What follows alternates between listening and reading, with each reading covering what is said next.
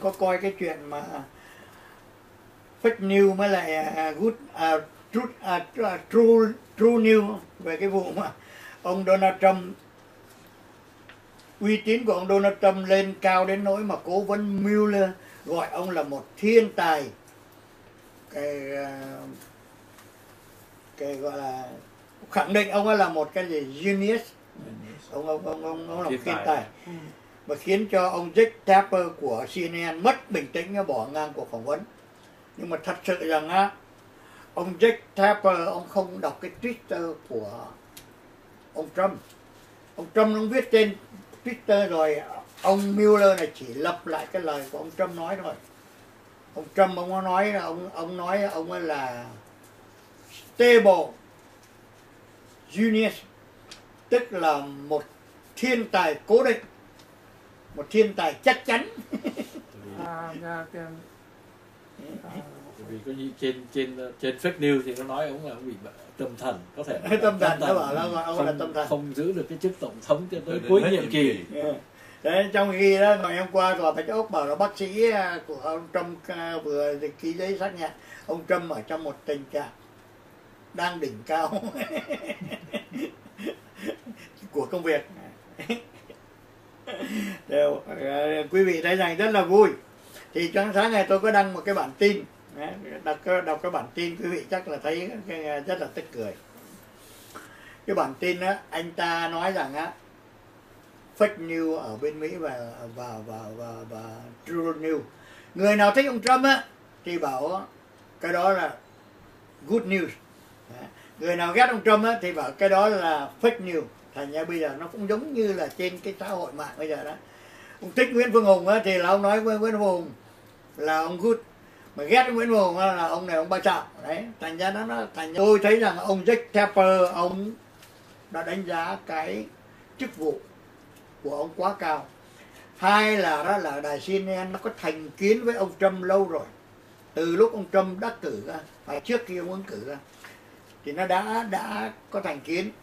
Và khi ông Trump ông ông nói rằng á, CNN fake news các cái vụ mà năm ngoái đó có 12 người hồi giáo đứng ra biểu tình ủng hộ ông Donald Trump tấn công IS thì cái CNN làm một cái bản tin một cái sân khấu nhưng mà đó những người mà đứng xung quanh trong đó đó là hình giả.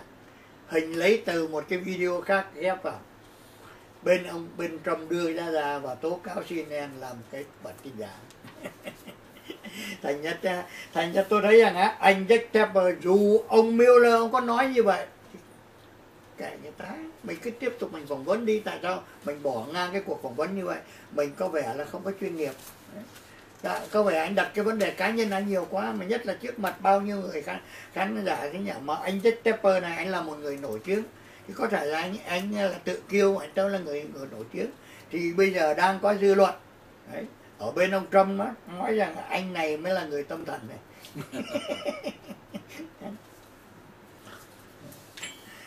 À, còn một cái vụ nữa đấy và cái vụ mà ông à, mới ra cái cái quyển sách. Mới ngày đầu tiên ra bán 29 ngàn. Ờ, Đây. Michael Wolff. Với cuốn sách này Fire and Fury tức là mình gọi là là là là là, là lửa cuồng nộ Bắc Cường có có đọc cái bản tin đó à, tôi sẽ nghe người ta bình luận thôi nhưng à, mà vừa bình. bình luận thì ờ, ông Donald Trump thì ông ấy ông ấy dọa là ông ấy kiện. Đã kiện thành có ra rồi và thành ra cái câu chuyện là nó đúng là cái đường lối của ông Donald Trump là bao giờ ông ấy cũng chọc cho người ta chửi. Đó. và rõ ràng thì là chính ông ấy giúp cái tờ cái cái, à. người người ta đi mua cái quyển sách này à, Đấy. cái- cái- cái- bây giờ cái sự thật là nó rành rành ra rồi Đấy, đúng à thì chính ông này đó ông ấy à, cái tài của ông này mới là làm cho làm cho nó hoa lên Dạ. làm cho nó nghĩa là quần chúng đọc rồi mới thấy chưng hửng ra cái này cũng chả có gì lạ bao nhiêu đặc biệt. Đấy không? À, thằng này nó đã điên sẵn rồi à, à, thành ra đó cả cái tâm thần mà tao đã chửi nhà báo nhiều lắm rồi bây giờ thì nó thù tao thì có chuyện gì đáng gọi đâu thành ra tôi ông ờ, ông Michael Wolff này ông là không biết là mỹ trắng mỹ đen tại vì da ông ngâm ngâm. Đấy. Vâng. ông có nửa trắng nửa đen mà có cái gốc gác của ông như thế nào. Nhưng cái chữ chữ Michael đó thì nó rõ ràng là tiếng là Mỹ rồi. Đấy thế nhưng mà cái quyển sách bác cường nói đúng cũng giống như quyển lịch sử Việt Nam đó. Đấy các người ta đáng người ta không mua nhưng mà tại chống quá rồi phải đi kiếm mua cho bằng được. Nhưng mà Mai Quốc rồi ông trên đài CNN mà Đúng rồi. đọc những cái bản tin ờ, đặc biệt này nọ. Đấy thì bây giờ đó thì thì bây giờ thật sự rằng có thể rằng mình đâu biết được ờ, ông ờ, ông trump ông ông phản đối cái này đi. Ờ, tôi tôi cho ông bao nhiêu tiền commission? Nói đùa vậy ông trump ông đâu cần cái cái, tiền đó. Tuy nhiên bức tường xây bên 18 tỷ. đảng dân chủ đồng ý 18 tỷ. 18 tỷ bỏ bức tường xây. Mà tôi nghĩ rằng nhưng mà phải theo cái chương trình của đồng ý của đảng dân Đảng. chủ họ mới chịu. Đi tức là tức là hai người hai bên bên ông Trump và ông bên ông Democrat đó là là bắt tay. Dạ. Tôi đồng ý anh cái này thì anh Dạ, đồng ý dạ, cái khác cho dạ. tôi. Dạ, bên nhưng mà riêng trong đảng cộng hòa họ chưa chấp nhận. Chưa chấp nhận đúng là đảng đảng ngoài chưa chấp nhận. Nhưng mà đó chúng tôi nghĩ rằng là sẽ chấp nhận. Lý do? Bộ ngoại giao mỹ mới ra thông cáo. Fbi ra thông cáo. Năm thành phố tại mỹ thì du khách người mỹ không nên đến. Đúng là nó đang Tại vì nó mới, giết- mới nhất bây giờ. mới giết người. Mới nhất bây giờ là không. FBI ra thông cáo. Năm thành phố tại Mỹ thì du khách người Mỹ không nên đến. Đúng là nó đang Tại vì nó mới, giết- mới nhất bây giờ. mới giết người. Mới nhất bây giờ là không giết không người cho. Mỹ.